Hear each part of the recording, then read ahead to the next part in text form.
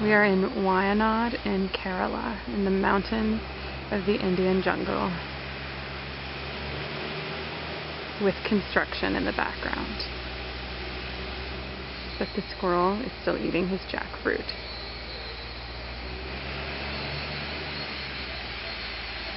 These are called flying squirrels because they can jump far distances from tree to tree and it looks like they're flying.